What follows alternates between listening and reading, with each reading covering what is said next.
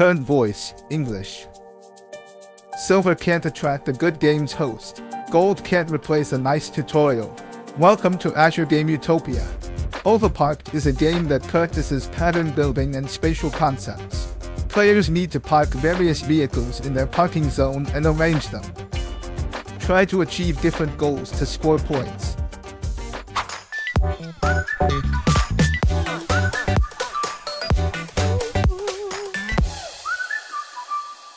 The video will focus on a four-player game, first looking at the central setup. The steering wheel marker is placed in the center, with one parking card randomly flipped in each of its five positions. Remaining parking cards are shuffled and placed face down nearby. Three objective cards are randomly drawn and placed in a row nearby, the rest removed. Then each player does the following setup.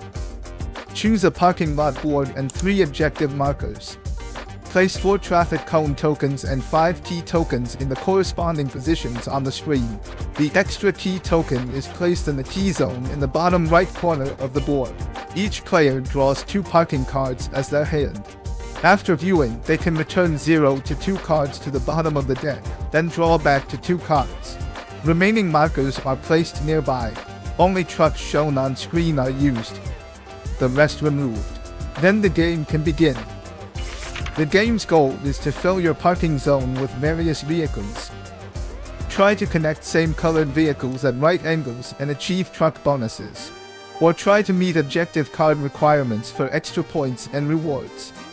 A game round has two phases shown on screen, mainly drawing parking cards and placing vehicles in the parking zone. It'll continue until a player meets the end condition, which will be explained later. Let's explain the two phases first. Steering phase.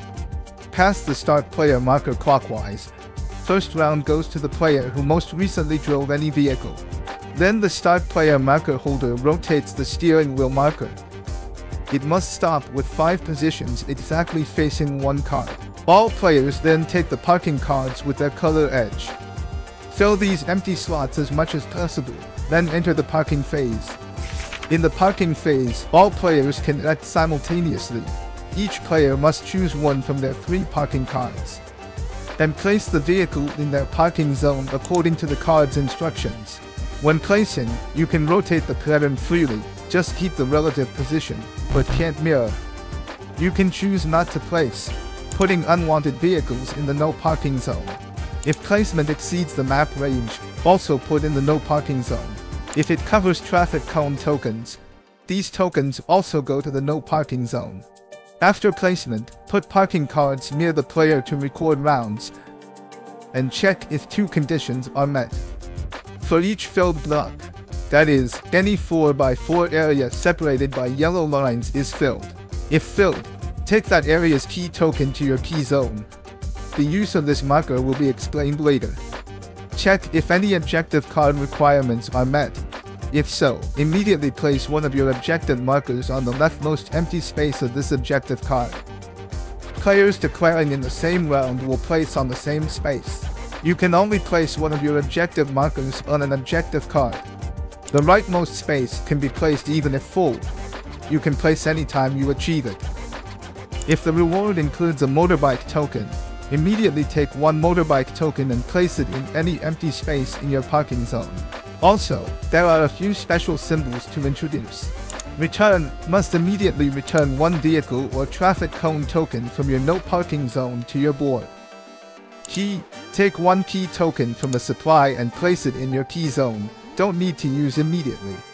Before or after the parking phase, you can use any keys from your key zone. Resolve each key one by one, return the key to the supply after use. The effect is to move a vehicle in your parking zone forward or backward any number of steps, but can't overlap other vehicles. If it covers a traffic cone token, put this traffic cone token in the no parking zone. If the vehicle's front or rear reaches any edge of the map after moving, it can directly leave the map and return to the supply. Check if any blocks are filled or goals completed after each key use, and take corresponding actions so it's possible to consecutively achieve goals or trigger rewards in one round. The game will alternate between the two phases shown on screen. Until after a parking phase, at least one player's parking zone has no 2 by 1 or larger empty space. The game ends immediately. Scoring items are as follows. For colors, excluding trucks, the largest connected area of each color, 1 point per grid. Motorbike tokens count as any color and can be counted multiple times. Each truck surrounded by 8 grid scores 4 points. Parking zone edges count as surrounded. Score for objective cards with your objective marker positions. Each marker in no parking zone deducts 2 points. Each remaining empty space in your parking zone deducts 1 point. These two deduction items can be reduced by remaining key tokens. One key token will make the player deduct one less point. The player with the highest final score wins. In case of a tie, the player with the least remaining empty spaces wins. This is the basic game rules. Below are other variants. 5-player mode, rules unchanged. If parking cards are used up and all players have no hand cards, the game ends forcibly. Advanced mode, during setup, remove basic trucks from the game, replace with advanced trucks. Each player gets 6 trucks of their color. When placing trucks, players choose one of their trucks and place it face up. If the card requires placing a truck but there are no trucks left, don't place. When scoring, each truck has its unique scoring condition. If met, you can get the shown points. See the last page of the rulebook for truck details. Solo mode, during setup, Shuffle the Autobot deck and place it face down nearby. Remove the top two cards face down. The player always goes first and can't choose white as their color. The rules have the following changes. Player's turn remains unchanged, but after taking parking card, additionally remove the parking card in direction A.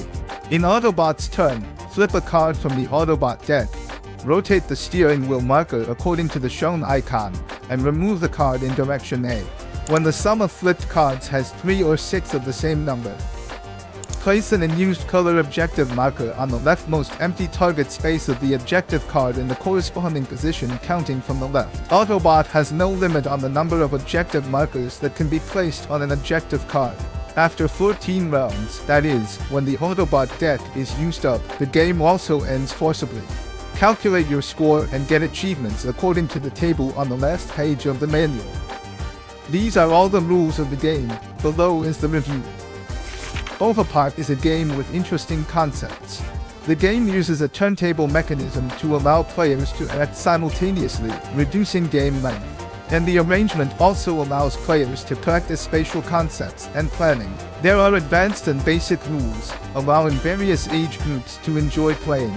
Board game geeks who like it, quickly click the KS link in the comments section to check it out. This tutorial ends here. If you like it please help subscribe, like, comment. The Azure Game Utopia channel will have new videos every week. See you next time. Bye bye.